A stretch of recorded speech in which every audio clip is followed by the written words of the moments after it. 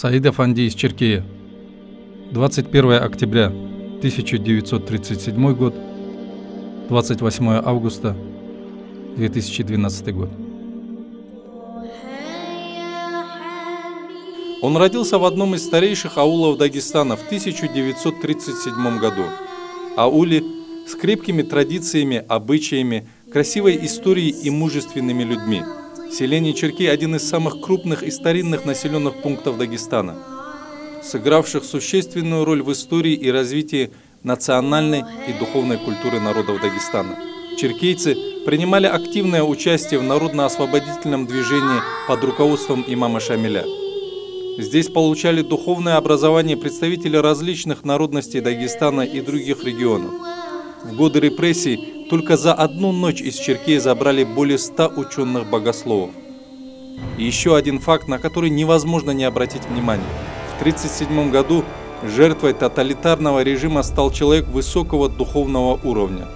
Признанный ученый-богослов, суфийский шейх, которого называют муджаддидом, то есть обновителем тариката начала 20 века, святой и любимец Всевышнего Хасан Афанди из Кахиба – и именно в этот год было предписано появиться на свет его совершенному последователю, человеку, оставившему, как и Хасан Афанди, огромное духовное наследие, Саиду Афанди из Черкея, чья судьба в итоге окажется не менее величественно, трагична и схожа.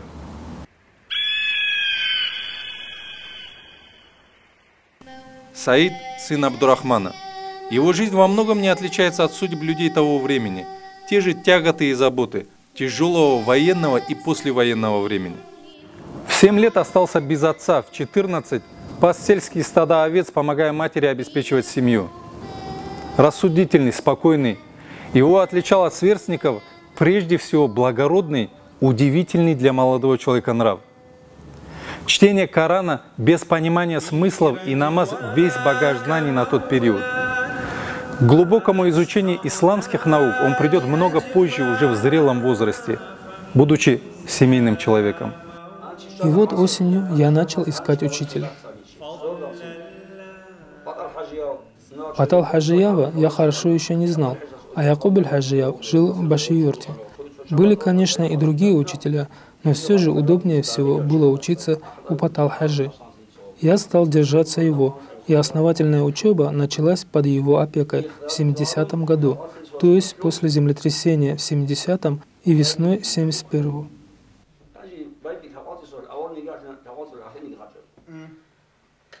Тогда мне исполнилось уже 32 года, и у меня было двое детей. Эльму и тарикат я начал изучать в это время. Все началось в это время, а до того был чабаном. Проницательность, ум, терпение, прекрасная память, трудолюбие и поддержка семьи помогли начинающему муталиму быстро продвигаться вперед. А вступление под опеку духовного наставника, точно задающего и определяющего направление изучения наук, способствовали глубокому их пониманию и духовному совершенствованию. Во времена моей молодости людей, изучающих религиозное эльмы, было мало. А если кто-то и учил его, за это сильно возвеличивали в народе. Что-то вроде этого, наверное, было и со мной. После того, как я прочел Иянат, Фатхуль Муин, Джалал и другие серьезные книги, это то, что на самом деле со мной было. Я начал думать, что теперь мне пора переходить к более сложным вещам, читать Махалли или Джавами. С такими мыслями пришел я к Устазу, чтобы посоветоваться, и спросил его, «Джалал я уже прочел, что мне теперь читать?» Не успел я закончить вопрос, как он ответил, «Ты их я читай».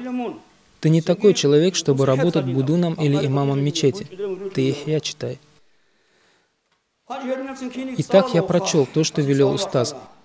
И в действительности, вы поверьте, я вам здесь не вру. Поверьте, если бы это Ихья не прочел, я бы пропал.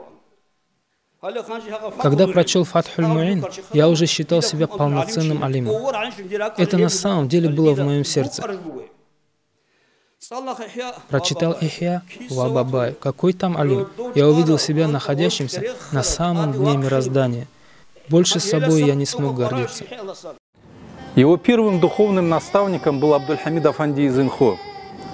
Прозорливый взгляд шейха сразу разглядел чистое сердце и большое будущее Саида Афанди.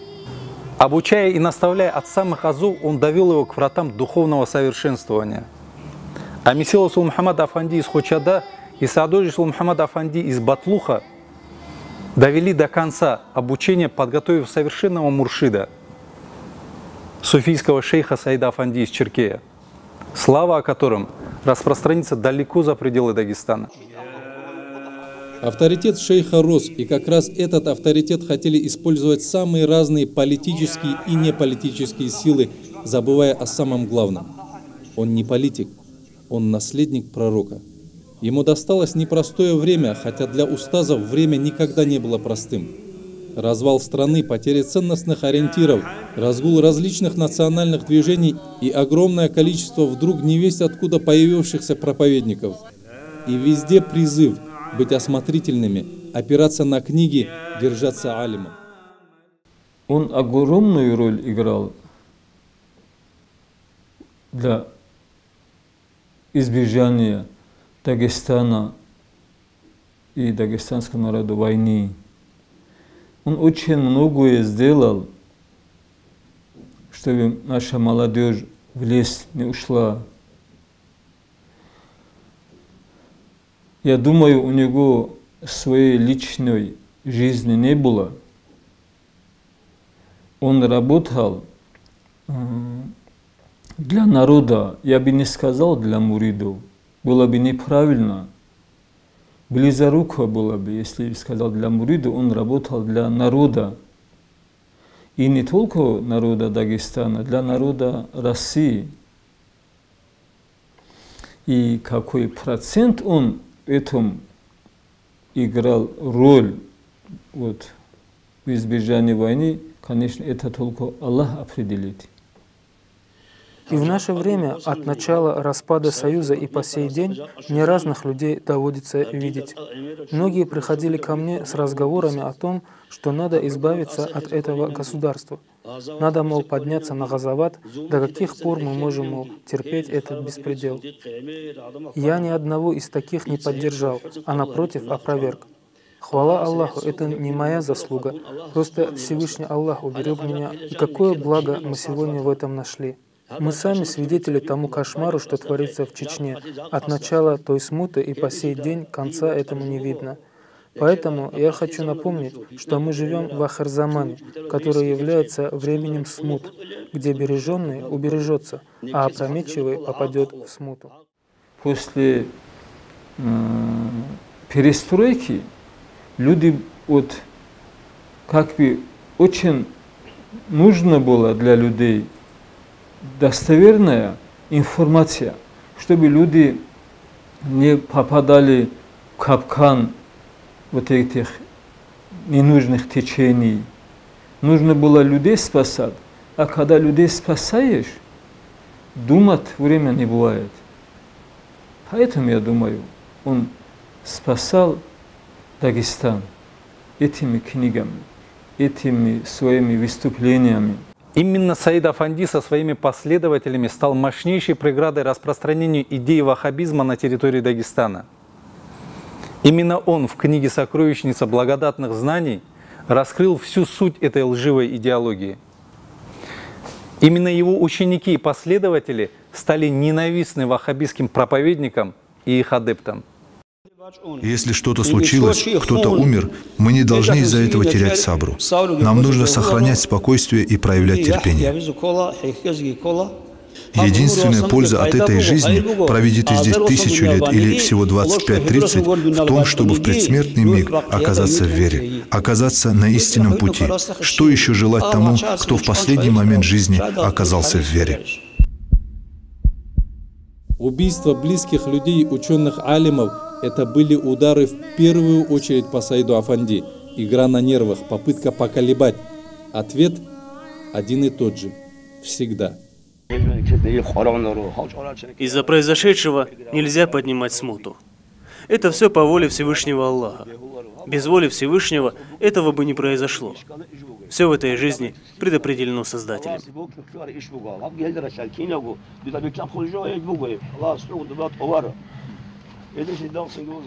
Он стал самым счастливым из нас.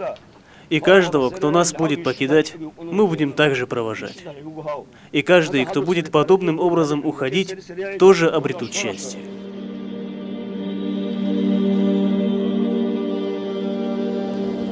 Книги. Мы не читаем книги. Обладая бесценным наследием и достоверным словом, удивляемся тому, что происходит. А происходит все то, о чем нас предупредили более 1400 лет тому назад. Он часто повторял на одни и те же вопросы, бывают одни и те же ответы. И 20 с лишним лет назад, посещая Гемры, шейх Саид Афанди призывал опираться на книги, искать ответы в них. Почему имам тогда не услышал? Или не хотел слышать? или приказали не слышать. За два дня до покушения в разговоре с одним из своих мюридов Саид Афанди неожиданно спросил, «Хочешь ли ты умереть?» И тут же сам продолжил, «Я бы сказал, не хочу». Далее он произнес слова, смысл которых примерно таков. Когда наступает день, предназначенный тебе Аллахом, и надо умирать в постели, мучаясь и страдая, эти нам приносят облегчение и радость. Один миг, и ты уже выполнил фарз. А через смерть должен пройти каждый в определенное ему Аллахом время.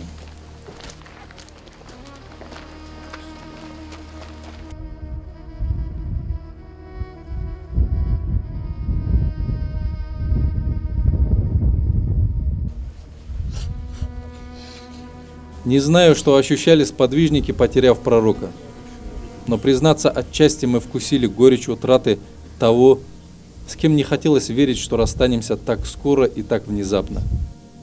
Проницательный и мудрый. Только через время понимаешь, как красиво и поэтически осторожно он аккуратно подготовил всех близких и дорогих сердцу людей, миридов, к тому, что уйдет. Оставив книги, наставления, укрепив и сделав совершенными своих учеников. Мир за нашими окнами без преувеличения и его заслуга. Всевышний своих святых, любимых забирал мучениками, шахидами. Умар Асхаба, Усмана, Али, внуков пророка Хасана и Хусейна, возвысив и подчеркнув степень своих любимцев –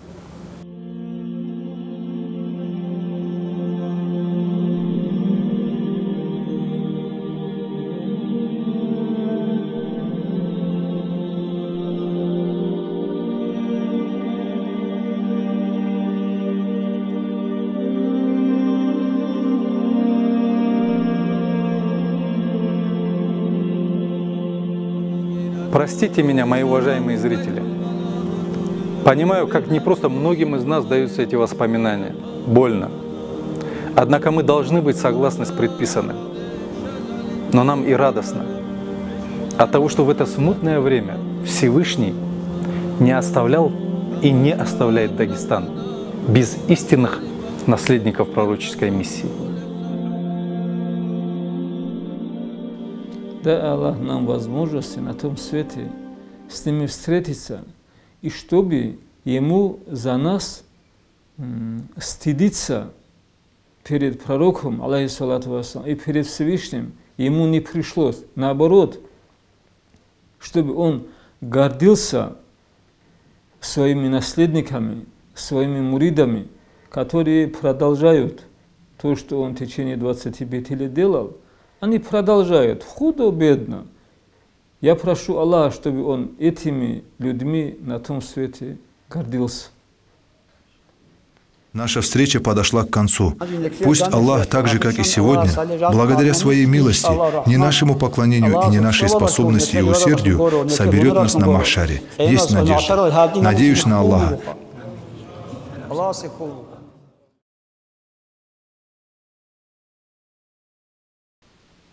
Рассказать, наверное, очень многое нужно, можно было. Но я думаю, необходимости нету.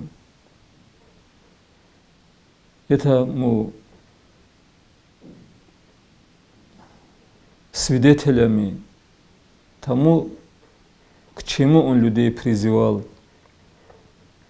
что он делал, какой результат его работы, об этом свидетельствовали даже его противники. Это о многом говорит. Друзья, муриды, его, его единомышленники, конечно, о нем хорошо скажут. А когда противники о нем хорошо отзывались, вот это уже действительно а и го работи.